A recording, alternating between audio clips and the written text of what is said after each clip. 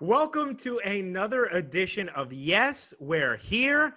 Today, I get to chat with a good friend and a basketball legend who also happens to be a New Yorker and is rocking really appropriate gear today. Sue Bird in the building. Oh, yeah. I, I, I didn't even know you had any Brooklyn in. Yeah, your guy Kyrie. Very nice. Sue, Just thank added to the collection. Just added to the collection. Very recently, actually. Did you? Well, so actually, this is like a, a perfect way to um to start because at some point I wanted to ask you about your relationship with Kyrie, given that hey, we're the Yes Network, the home of the Nets. So, uh, but you, you just made it real easy for us to get into it. So, I mean, how did you and, and Kyrie connect and develop uh, the friendship that you guys have? Uh, it was at the 2016 Olympics in Rio. Um, our teams hang out a lot. We're, we're together a lot. And right away, you know, I met him like on the first day that we got together. And right away, we just hit it off.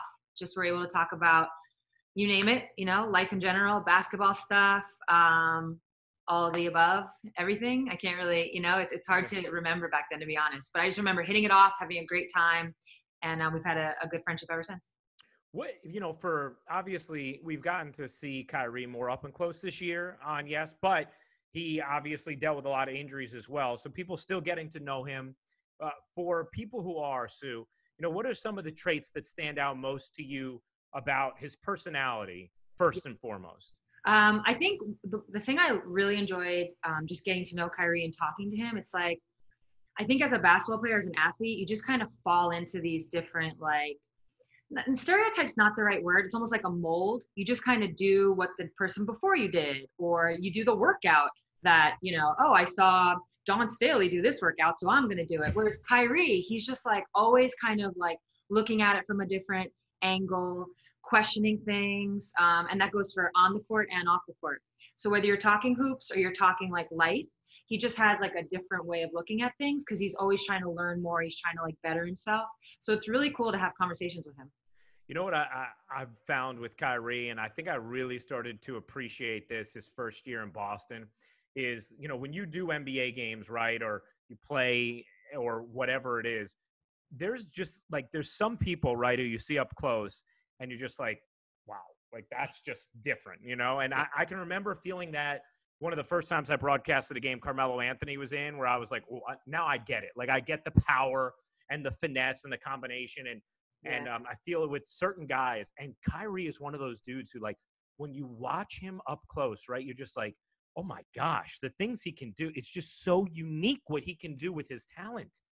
Yeah, it's wild. I mean, everything from like his commercial shoots, you know, where he's just like out there ball handling. That that one with um, God, who was he with? The dude from the Roots. Oh, I'm drawing a blank.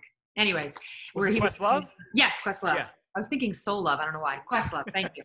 Um, he was just on the drums, and Kyrie was doing his thing. Whether it's something like that, or it's like, I mean, he ended up missing the shot, but it was that one against. Uh, I'm not gonna remember where he literally like tumbled over himself somehow. Oh, kept yes. off.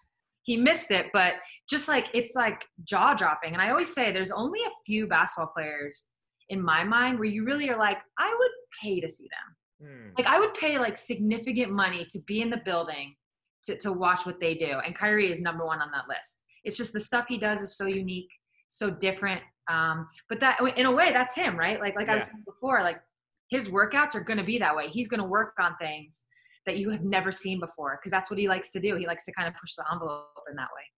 You know, speaking of Kyrie, um, these puppies right here Oh, are Kyrie fives, but they are not just Kyrie's shoe. They are, and people are going to read this backwards, but the Keep Sue Freshes. This is your collaboration with Kyrie. Sue, first of all, it's such a sick shoe. Like every time I wear them, people are like, yo, those kicks are sick. Like, you know, like love them. is that what they say? just like that. Just Just, like like that. Okay. Um, but it's only 65 year old former smokers apparently who are complimenting me on the shoe. Sick man. Um, but but they they really are. How did like I mean, how did the collaboration happen with you and Kyrie on these uh, on these kicks? Yeah, well, as I mentioned, um, meeting him in Rio, one of the first things we kind of started just like, you know, talking trash about was sneakers. And he kind of said, he was like, oh, hey, he's like, you have a pair at the time it was the twos that were out He's like oh you got a pair of green and yellow ones seattle storm colors and i was like yeah he's like yeah i don't even have those and i was like oh i have a pair you don't have what do you know? Yeah. but we kind of so yeah so and i was i had already been wearing his shoe for like two years or so and he knew that. And um, yeah through our friendship fast forward a couple years the five comes out and i actually had no idea. So i showed up sadly I, I was injured but last year it was our ring ceremony game. We had won 2018 so it's the first game of the season 2019 and our nike rep like gives me this box. And she's like hey i know you can't play in these but this is like what we wanted to present to you for this game. And i open them up and i'm like what? You know like what do you mean? What is this? How did this happen? Yeah. and as it turns out kyrie was just like in a nike meeting one day probably like months prior to that maybe even a year or so and was just like yeah like and he had always told nike hey whatever sue wants like with kyrie's you give to her. Like if she Mm. asks give it to her which is Yeah. obviously amazing and then um, I guess in one meeting, he was just like, yeah, you know, like I want to do something for Sue, blah, blah, blah, like best point guard. How come he's like, I just want to keep Sue fresh. And thus it was born. I actually have another pair of those Do you? in like a different colorway. Yeah, yeah, yeah, I do. Oh, so you got to break those out whenever you get back on the floor. I know. I've been Well- waiting. Oh, I know. Well, see, your sneaker game is legendary to the point that on Instagram, there's actually like the Sue check-in uh, Yeah. chyron graphic that idea. yeah, it's amazing and people can find and, and people check in with their kicks. Now, I know how ridiculous your closet of sneakers is in Seattle. You Right. have been quarantined though, quarantined in Connecticut. where- Self-isolating. it's ama- I mean, it's been a month, you know, like, but do you do you have uh like do you have a, a any like special pairs that are still with you in Connecticut? Yeah, I actually, I mean, I don't have a lot. It's sad. I wish I was in Seattle. I could show you that Keep Sue Fresh other colorway. Yeah. But um, I have a couple. I have a couple. Yeah. You want Yeah, to show us a pair or two, Sue? Yeah, I got some. I got some. So these are just Kyrie's. It's it's nothing like these aren't like special, but I I the minute I opened the box and I saw these, I was like, oh my god, I cannot wait. Yeah. I just think the pink with the uh, so, And those are the sixes. Yep. yeah, yeah, yeah. Yep. These are super super comfortable. Oh, yes, Um, they are. I wear. I have a like three pairs of them. I, Oh, really? I love them. Yeah. Yeah, yeah, super comfortable. Um, so these I randomly had in my closet, and it's something that Nike did for us going into the Rio Olympics. Ooh. Yeah, it's just a pair of Air Force Ones, and they but they what they do is they, as Nike does, actually on the Keep Sue Freshes, if you really look, it has like a lot of my accomplishments like meshed into like what looks like madness. Yeah. Yeah, like there's the it's funny, the one that stands out is always the Jones Cup, which Yeah. is like this random tournament I Yeah, I see. I Jones Cup is like right there. yeah, uh, Yeah. Jones Cup stands out. It's so funny. Yeah. But if you really look, there's like all stars in there, stuff like that. So this was like it had a Rio vibe to it. And then what they did is they took um, they took a quote. It's one that I've used, um, and it just says "Tough times don't last, but tough people do." I don't know. if It looks Oh, I love that. Yeah, that's sick. yeah. So and the story there is just, um, and then it says Rio on the.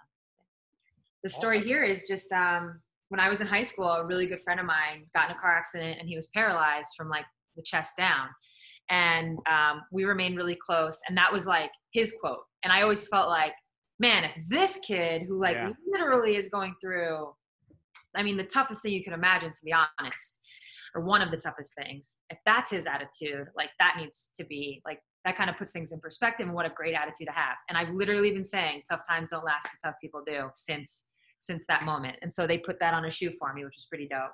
Um, I think every player got like something special for them. Yeah. Yeah, I just happen to have these in my closet. That's that's awesome. That's a good find. That's a good pull for It is, Connecticut it is, too. yeah. Never been worn. Still got like Woo. nice tie like that. Still got the things in them. Yeah, these are like keepsakes for sure. Well, you know, a lot of the, the these relationship stories go back to the Olympics, and obviously, you were being, you know, you were getting ready uh, to play in what was going to be your fifth Olympics. Um, you have four gold medals, um, and you were going for, you know, what is just, I mean, it's just, I, I sometimes even like the other day I was texting you like, hey, that's pretty cool, like to have four gold medals, you know. But to Yeah. go, I mean, you were gonna in 2016, you talked about this may be the last one, and yet here you were about to go for another, but it gets pushed out a year. How Mm-hmm. do you view the 2021 Olympics now and Sue Bird's involvement in them? Yeah, well, I mean, the goal is still there. So it's still like within reach for me, the way I look at it. Like it's still motivating me. um, in my workouts. It's kind of like in the back of my head now, whereas before it was in the front a little bit, but Yeah. it's still there. And you know, Ryan, we've talked about this. It's just ever since Rio, to be honest. Anytime I'm, I, I've been asked this question, my answer kind of stays the same. And I, and it's not like I'm not trying to like skirt it. You know, I'm not trying to get around it or kind of give some like PC thing. It's like really how I feel. It's like yeah. if I if I do the right things, take care of myself, if I'm playing at elite level, like obviously I've proven I can be on, on the Olympic team. So if I do those things and they, you know, and they they view me as being somebody who can help them win a gold medal, like I'm not gonna say no to that. So I'm just kind of, you know, plugging along, keeping that, you know, in the back of my mind and we'll see what happens in a year. You know, a lot can happen in a year. I'm totally aware of that, especially at 39. But, you know, TBD. Sue, how about like for people who want sort of good at home workout tips? I'm not going to make you take them through sets and reps, but like what would be your key for staying fit while staying at home right now if you don't have, let's say, a fully equipped gym? Yeah. Um, all right. Let me think. So, right out the gate, I would say try to find some videos because like I I have a Pilates person that you can like um you know tap into and buy like some sort of subscription and you can do Pilates videos. They're super easy, you don't need a lot of space and that's one good way. So and any whatever video speaks to you like, hey listen, some people like insanity. I did insanity like 10 years ago. Yeah. It's not easy. So if that was more your, you know, your thing, by all means, that's not my thing anymore. But insanity is no joke. And again, you don't need a lot of space. The other thing I think I would say that's pretty easy at home is to get a TRX. Mm. Like you can do so much with a TRX. You don't, again, not a lot of space. You just need like a door and you can make it, make it work and, and get a lot of work done but yeah, so try to find videos that work for you. And then if you had to get equipment, I think a TRX would be the one thing to to invest in. I know you're a foodie. What is what's something that like you are jonesing for and you're like, as soon as life's back to normal, I am eating that or I am going there. Going there, yeah. Yeah. You know, um, I haven't had sushi in a while. Ooh, yeah. Yeah, I haven't had sushi. We, you know, we haven't done a lot of takeout. We've only gotten takeout like a couple times just because we're trying. I think it's because like, you know, maybe the alcohol intake has gone up. Maybe. So maybe just, we're just a little trying- bit. Just a little. so maybe we're trying to like control the food a little more. So we are cooking a lot, and it's like something to do, to be Yeah. honest. Yeah, yeah. Um, but yeah, but with that, we haven't ordered takeout a lot. I really miss sushi.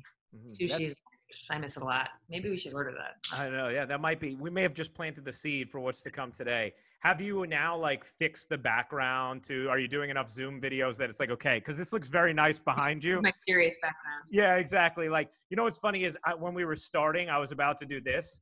You're gonna see the back of my Peloton, and then I'm like, no, Mine's right what? there. This is better. This is where it needs to be. Have right? some books, make you look, you know, Yeah, well, studious and yeah. It's just like a nice because it looks like you have a very, you know, very nice little. uh Yeah, uh, It's you just worked out that way. These things are, are here all the time. all right. In fact, I when we were on that NBA live, Yeah.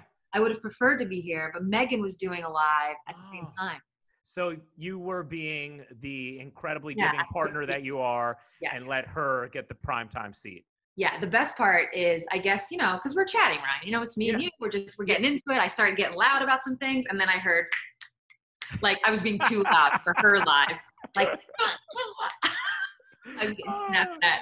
That's great. That's phenomenal. Well, Look Sue, uh, are you and Megan going to be doing your show again uh, yeah, on Saturday Instagram night, Live Saturday night at nine Eastern? nine Eastern. Yeah, All right. So Saturday night at nine Eastern, everyone can check out Sue uh, and Megan on. Um, you guys are show, is calling the show a touch more. yeah, A touch more. Okay, sounds good. So it's hilarious, and you guys are singing and stuff. It's great. It's wonderful.